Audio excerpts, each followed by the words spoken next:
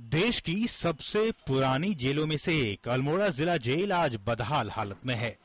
1872 में बनाई गई इस जेल का अपना एक इतिहास रहा है। आज़ादी की लड़ाई के दौरान इस ऐतिहासिक जेल में देश के प्रथम प्रधानमंत्री पंडित जवाहरलाल नेहरू और गोविंद बल्लभ पंत जैसे सैकड़ों स्वतंत्रता सेनानियों को बंद रखा गया था। ये कारागार आज काफ़ी जर्जर हालत में है। जगह जगह पानी रिश्ता है और खिड़की दरवाजे खस्ता हाल में हैं।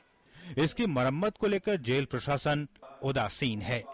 अल्मोड़ा की जेल ऐतिहासिक जेल है। स्वनाम धन्य स्वतंत्रता संग्राम सेनानियों ने यहाँ पर रहकर देश सेवा के लिए योगदान दिया है।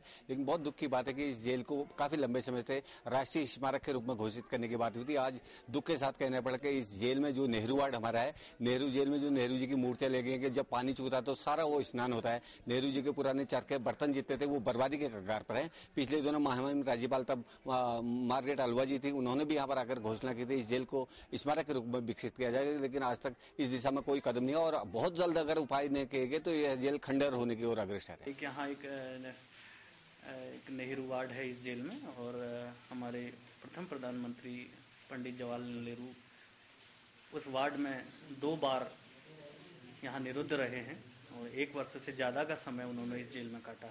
स्थानीय लोग लंबे समय से अल्मोड़ा जेल को राष्ट्रीय धरोहर घोषित करने की मांग कर रहे हैं। सरकारी बद इंतजामी के बीच ये कारागार अपने गौरवशाली इतिहास का खंडहर मात्र रह गया है। ऐसे में अगर उचित कदम नहीं उठाए गए तो 141 साल पुराने इस जेल का अस्तित्व ही खत्म हो जाएगा। Bureau report, DD news.